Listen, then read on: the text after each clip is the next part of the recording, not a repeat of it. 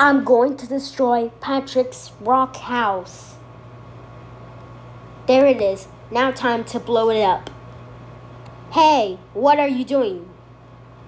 Where are you now? Yes, I did it. I destroyed Patrick's rock home. Oh no, it's Patrick's star. Ernie the giant chicken.